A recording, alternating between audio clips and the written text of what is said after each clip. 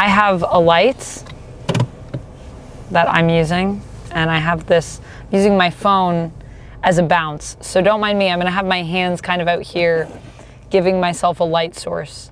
But hello, you can't tell from this angle, but I am wearing a Venom shirt. I came prepared. You can see the teeth if I push myself out like this. Well, we just got out of Venom The Last Dance. Thank goodness it was the last dance.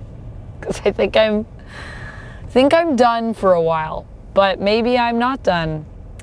Maybe I'm not done. We'll see what happens. This is a spoiler-free review, so we are not going to get into spoilers. You are safe if you haven't seen it yet. If you're one of the few people that somehow hasn't seen it yet. I know I'm late. I was away. I didn't have an opportunity to see it till now. And you know, I wasn't in a rush because the reviews, they were not positive for this film. And I went to go see this film. And I gotta say, yeah, I get it. I get why the reviews are not positive. So, this movie is basically, I'll give you a like, not with spoilers, but just a premise of what we're doing here in case you didn't know. It is Eddie and Venom. I mean, together they're technically Venom, but you know what I mean. I just, I'm gonna say that so I don't have to say like Venom symbiote all the time. Uh, on the run, they're on the run from a xenophage, which you saw in the trailer, which is pursuing them. What's a xenophage? A xenophage is, uh, well, in the comics, they're just a predator for symbiotes. They like can eat. They like eat symbiotes, and believe. In this, uh, a xenophage is a thing that is working for Knull to chase Venom because Knull needs something from Venom. We're also dealing with the threat of Knull, who is trying to get out of a prison to get to, well, to get to everywhere, to conquer everything, presumably. At the same time, we have these military folks and scientists that are looking to study and capture aliens. Like, dun dun dun, Venom. So that's basically what's going on here. That's basically it. Um, you know, typical Venom shenanigans ensue. Some of those are actually quite enjoyable. Let's start with the positives. You know what? Let's be positive. Let's do it. There are actually some things that I enjoyed about this movie, and I will say, after Let There Be Carnage, if you were like me and you watched that movie and you questioned all of existence while you were watching it, and you thought to yourself, how could Andy Serkis directing a movie be this bad? Because Andy Serkis is an amazing performer, and I would have thought would have directed something that was actually quite good. If you went to see that movie and you thought that and you considered walking out like I did, I almost left that movie. It was so bad. This movie is miles above it, I would say. At least it is there are moments when it is genuinely entertaining and enjoyable, and there are moments where it genuinely pulled on some of my heartstrings, made me laugh. So there's some good things to be said. I think mostly the highlight of this film is a lot of the performers in this film. Tom Hardy, obviously playing Venom and Eddie, is always delightful. I do enjoy their relationship, and I think there's still much entertainment to be had from that. The first half of the movie is actually pretty all right. I actually will say that I, I enjoyed it. You know what? I enjoyed it. Unfortunately, it's not enough to redeem the rest of the movie. The second half of the movie is not good. it's just not good. It's not even, so here's the thing. We depart from some comic book versions of what's going on in this film. If you're a fan of the comics, you're going to be familiar with things that we're talking about here. But they depart from the comic version of that lore, which is fine. Honestly, in some ways, it's fine. In other ways, it's wasteful and disrespectful to some of the source material and the characters that we have. And so I will say that that is something that I didn't like. I feel like with symbiotes, there's a lot to love, and there is so many cool characters that we have in that world. In the quote unquote Venom verse, if you will. I, why we squander that, I have no idea. I have no idea. We did it in Let There Be Carnage. We're doing it again here. It's just um, disappointing.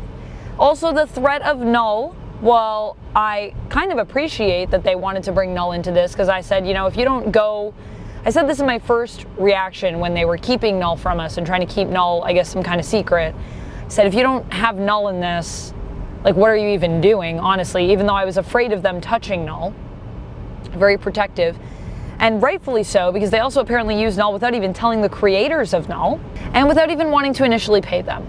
Fortunately, in the end, they did get paid. Uh, Donny Cates and um, who's the artist Ryan that we love? Ryan Stegman did get paid. So that is at least a positive from this. At least we got some creators that make cool stuff getting some money, which is nice. However, I also feel like the budget for this film was not as high as other films because, I mean, you can tell. I would say that this, the, the CGI and stuff still looked pretty good, but it is mostly in Las Vegas, and I feel like Las Vegas must be more affordable to shoot in than San Francisco.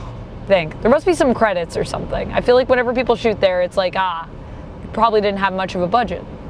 Or you know, you specifically want to do a film that's about Las Vegas potentially. So I just feel a lot of things are squandered in it. And while it feels like with all of the Venom films, there are cool ideas, but we don't actually ever do anything with them. So you just end up feeling disappointed by the end of the film. The movie literally ended, and you said, "That's it." I literally said that. It's true. I was like, oh, that's it. Because they actually set up some things. Here's the other thing. Like I said, the threat of Knull is is just what are we doing with that? And I like how they said before this movie, you know, this isn't going to be the last you see of Knull. This is going to be like this is just the beginning of Knull. What beginning? Knull's barely in this movie. I'm sorry if that's a spoiler. I don't think that's a major spoiler. For those but... who don't know, I don't think you just uh, said who Knull is. Okay, so Knull in the comics, for those that aren't familiar with Knull, Knull is the god of symbiotes. He is lord of frickin' darkness and cos he's a cosmic villain that obliterates, dominates, decimates planets across the cosmos. He is a threat that was nullified by the symbiotes. They locked him up. They locked him away because he was that bad. Even though he's their creator, he's that bad. He's also the king in black. So what that means is he can, he has powers where he can, once awakened, take control of all of the symbiotes and control them as well. He's a massive threat. In the comics, we had some cool events. If you guys are interested in this guy, he's got a really sick character design as well. Uh, we have some cool events. There is uh, uh, Absolute Carnage and King and Black. Those are some events I would recommend checking out. King and Black, the end kind of peters out a bit in my opinion, but it's some cool Knull cosmic symbiote madness. So if you're into that, that's that's what we get. This movie, none of it. None of that. None of that exists in this movie. They kind of try to do a little bit of like an absolute carnage thing. Of course, you know, we don't have carnage because we killed him in the last film. But there's just a lot of stuff in this that feels very predictable, atypical. That's just not it's boring. There's a lot of cool things they could have done. And every time I watch these movies, I'm like, why would you do it like that? Why why why why? It just makes me frustrated that someone else isn't writing or directing these films. And there are great performers, but then sometimes the film even gets in the way of that. I mean, the fact that we have Chiwetel Ejiofor in this film, how did we do that? How did how I hope he got paid well. He's so much better than this film. yeah, I literally leaned over to Duck at one point and was like, "Man, he is so much better than this film." And then Duck said to me after, "You said when you leaned over to say that to me, I didn't want to talk, but I was literally thinking the same. I was literally about to like say that because I was thinking the exact same thing as you. Because he is so good in this, and actually there are some moments with his character, uh, Strickland, that Rex. are, pardon, Rex, who's also a Donny Cates, uh, Rex Strickland. right? Yeah. Yeah. who's also a Donny Cates Ryan Stegman creation. Yes, that are. There's some moments that are genuinely interesting, but why they interpreted companies and people and whole storylines this way. I can see why they told they didn't tell the creators that any of this was happening because they would have been like, I don't think so. That's what I would have said. I would have been like, You're doing what with my story? I feel like, why? And I know that some of this stuff can't be adapted. Uh, like I don't, I wouldn't say you should do a direct adaptation. I'm not arguing for that. I know I talk about books sometimes, and I think people interpret that as, well, you know, not not everything can be exactly like the book, exactly like the comic. I'm not saying that. I'm just saying there's a way that you could adapt it that could have been more true to form than what we saw here. That could have been a better compromise between the two, and instead we got Venom: The Last Dance. I don't even mind the goofiness. This movie is goofy, and I actually enjoyed the goofy moments. So that's not even my problem with it. It's just disappointing, is my problem with it. I actually like that Mrs. Chen is back, and I love a, I love a dance. you know me, I love a song and dance. I'm like Venom, I'm a fan of musicals, what can I say? Also the fact that this was the last of the Venom trilogy, it makes me feel conflicted because I feel like we just wasted our time. We wasted it. And we had Tom Hardy, and I feel like we wasted it. But oh well, it's over now. We've danced our last. We've danced our last dance, and so for that, I'm slightly grateful. I'm mostly grateful, actually, because now I don't have to watch anymore. And at least it wasn't as bad as the second one. So at least it redeemed itself slightly. Not as good as the first one. First one's still the best one. So that's how I feel about it. Overall, I would say I'm going to give this one a 2 out of 5. Uh, one out of five. for 1 out of 5 for you? Didn't really care for it. I mean, I think it's entertaining. And I think there are some good moments. That's why I got a one. That's why I got a 1. Yeah, I think I got to give it a 2 for like some of the actual performances that are good and some of the moments that are genuinely interesting and made me think things, which was surprising. I went into this honestly not expecting much. And I was uh, because I think I maybe because I lowered the bar, I was a little bit surprised at how delighted I was. So that's all I have for this one. I hope you enjoyed this spoiler free review, this immediate reaction. I'll probably be back with a full spoiler review and we can talk about all the things that happen in the movie. Unfortunately, a lot of the stuff that happens in it, I would say, is pretty spoilery, which is why I'm trying to keep it light on the plots.